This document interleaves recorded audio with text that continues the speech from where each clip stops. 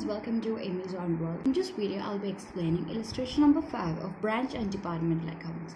Okay, so even before discussing this question, we have to get to know how to do questions under stock and debtors method.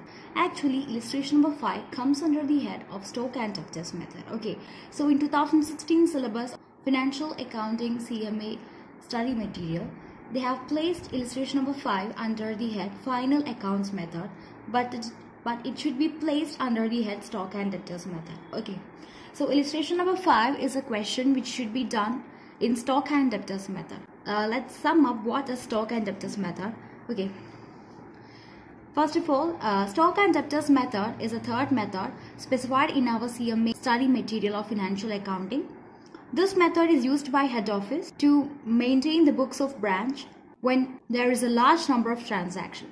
Fine. Okay. And under this method, there are accounts that should be opened. Fine. Let's see what are all these accounts are. First account is branch stock account. In branch stock account, we'll enter all those things that would affect the stock and we will record it at invoice price itself. Now we are just directly writing it in the invoice price itself. Fine. The next account is branch debtors account. This account is being prepared in order to find the receivables, credit, uh, sales and closing debtors and all. Fine. And the next account is branch adjustment account. This is an important account under this method. Fine. Okay. Uh, this account is maintained for recording loading for goods and for, for ascertaining gross profit. Okay. So that means I already told you that in branch stock account we used we are writing it in invoice price itself. So what is invoice price? Invoice price contains profit element plus cost, right? Cost plus profit element is what we call as invoice price. So that profit element which we are recording in the branch stock account should be eliminated. So we are going to eliminate it in the branch adjustment account. Fine okay and uh, this branch adjustment account the balancing figure of branch adjustment account will be gross profit or gross loss fine then next account is branch profit or loss account uh, this account has been maintained in order to ascertain branch net profit fine next account is goods sent to branch account it is actually not necessary to uh, open each and every account like this um, it, is, it depends upon the question fine okay then the extra accounts that should be opened under stock and debtors method are branch expense account, branch cash account, branch fixed asset account, uh, and abnormal loss or lost in transit account. Okay, okay. So uh, it is actually not necessary to open all these accounts in every question. It depends upon the question. Fine. And the other thing which we have to discuss is about the balancing figure. Okay, balancing figure of branch stock account. Okay balancing figure of branch stock account. In the question if they have not given us closing stock then the closing then the balancing figure of a branch stock account will be closing stock if in the question closing stock is being specified the balancing figure which we get after preparing brand stock account will be either surplus of stock or shortage of stock so surplus of stock will be when the balance figure appears on the debit side of brand stock account okay and so shortage of stock will be when the balance figure appears on the credit side of brand stock account. Fine. So these are some points you have to keep in your mind. These are the common points you have to keep in your mind while doing stock and debtors method questions. Fine. The next topic. Next topic is about excess contribution to gross profit. And this is the important theory you have to keep in your mind while doing illustration number 5. Okay. So that is what is excess contribution to gross profit? That is it is a difference between list price and invoice price. Let's read this. Difference between list price and invoice price results excess contribution to gross profit. The difference between the difference amount that is uh, uh, for example if list price is 10,000 and invoice price is 5,000 the difference amount is 5,000 right. So this 5,000 is what we call as excess contribution to gross profit. Fine. Okay. Uh, it arises only out of the sales which have been made at list price. Okay. This excess contribution to gross profit will only arise out of the sales which have been made at list price means in uh, here in uh, branch and departmental accounts of 2016 syllabus the third illustration they have given us a particular kind of question where it includes catalog price and invoice price and all you can just go and refer there okay so when questions like that appears you have to uh, keep in your mind about this if you're going to do that question under stock and debtors method. Fine. If you have any doubt till now, uh, you can just comment down. Fine. And there is one entry you have to keep in your mind while doing illustration number 5 that I will show you. So you'll be able to see it here, right? Excess of sale price over invoice price. okay. If like in uh, list price will be actually greater than invoice price. Okay. So if the sale price is greater than the invoice price then if there is an excess of sale price over invoice price then we have to pass this entry here. That is branch stock account data to branch adjustment account. Fine what will we record here? We'll record that difference amount. I just uh, said an example right? That is list price is 10000 and invoice price is 5000 and the difference amount is 5000 so that difference amount 5000 have to be returned on while pricing while passing this entry. Okay. Now we are going to discuss illustration number 5 Okay, let's read it. White Limited with their head office at Kolkata invoice goods to their Ranchi branch at 20% less than list price. Okay, so uh, White Limited is the company. Uh, this company has a head office at Kolkata and uh, this head office is sending goods to Ranchi branch. Uh, okay, and they are sending goods at 20% less than list price which is cost plus plus 100 percentage that is uh, head office is sending the goods to Ranchi branch at invoice price itself so if you're going to ask what is invoice price, they are telling us that invoice price is list price minus minus 20 percentage. Fine.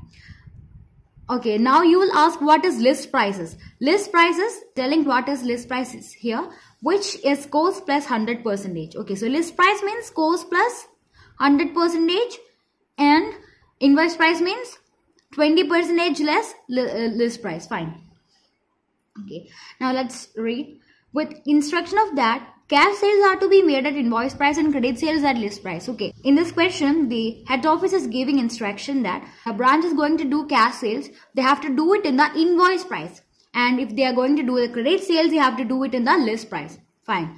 From the following particulars, prepare branch stock account and branch stock adjustment account for the year ended 31st 12 2018. So they have asked us to draw or asked us to prepare branch stock account as well as branch stock adjustment account. Okay. Only these two accounts have to be prepared in this question. Fine.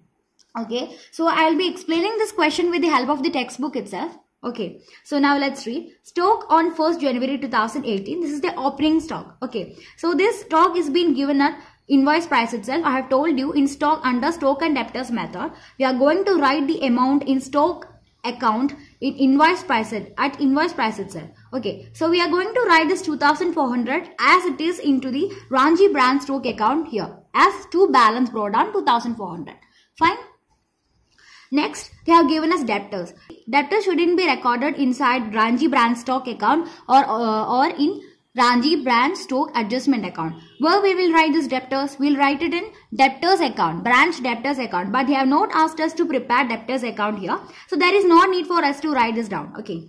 Now next is cash receipt from debtors. This also goes into that uh, branch debtors account only. So we are not going to write this down. Next comes goods receipt from head office. Okay. So they have uh, given us the goods which was received from the head office at invoice price itself, we are going to write it inside the branch stock account because this is something that's going to increase the stock, right? So we have to debit it. Fine. So we are going to write it in invoice price itself. Okay. So uh, I'm going to write two goods sent to branch account 26400 as it is. Fine. Next. They are, uh, next they are telling us that uh, some goods have been returned back to head office and that is uh, the amount is 200 so we are going to write it in the opposite side Okay, so buy goods sent to branch account, we are going to return it 200. Fine. Next comes cash sales 9200. When sales happens, the uh, stock reduces, right? So we have to credit the stock account. So cash sales 9200. Next comes credit sales that is 20,000.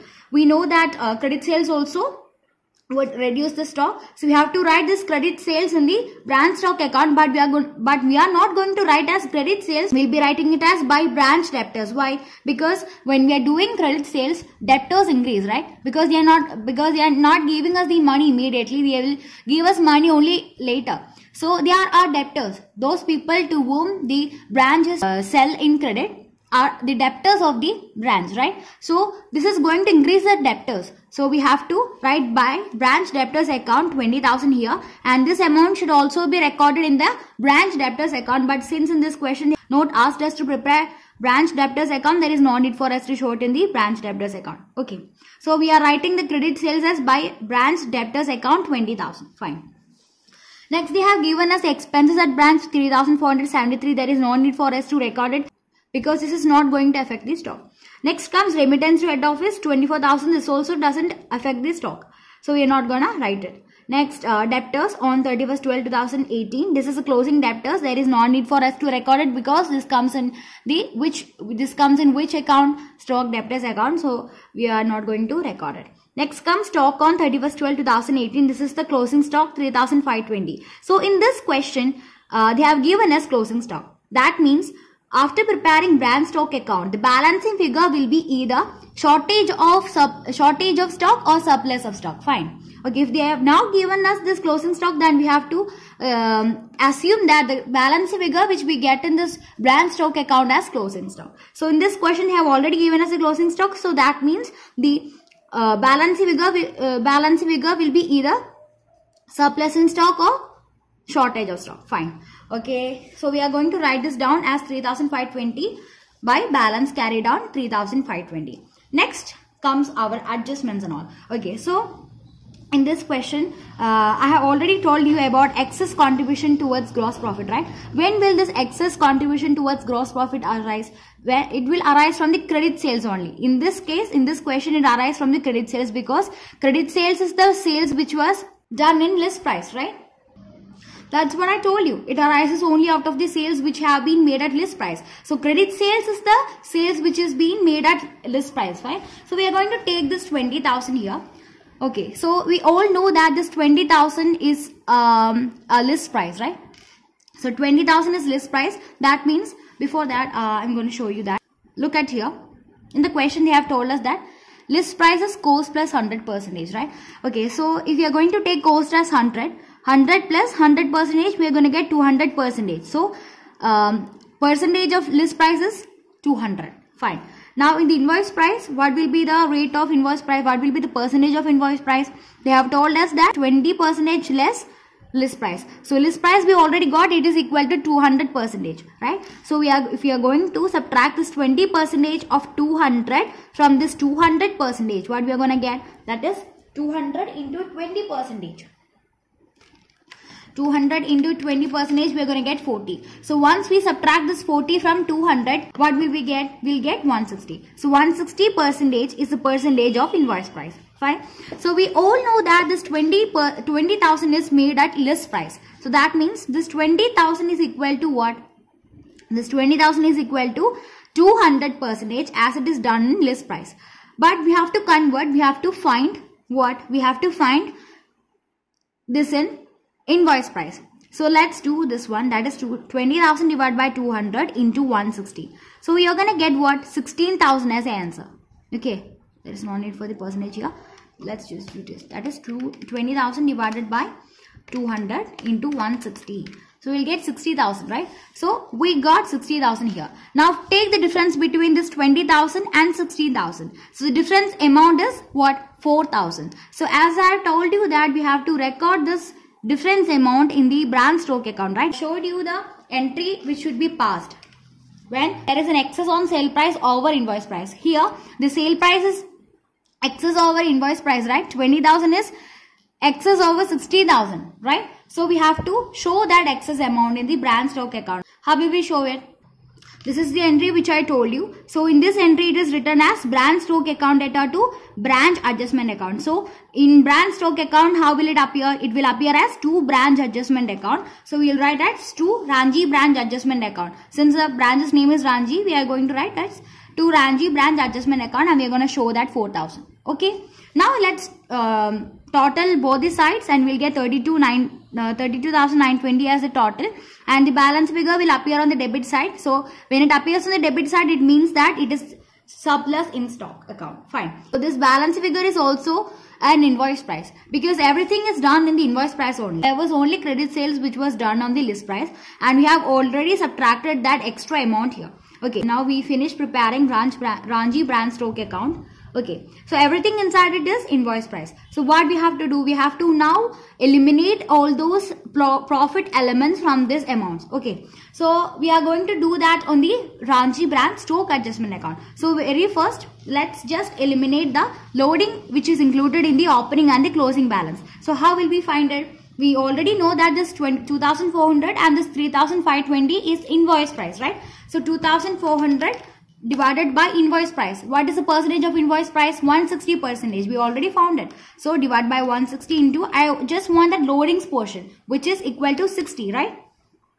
Okay, so that is 160 minus 100. You're going to get that loadings portion only, which is equal to 60. So I just want that loading portion only 900. I'm going to eliminate it where uh, I'm going to eliminate the loading of opening balance so in brand stock adjustment account where it will appear, it will appear on the credit side, right? On the credit side, we are going to write as buy stock reserve account. Okay. So uh, stock reserve is an account which we use to eliminate the loading of opening and closing stock only.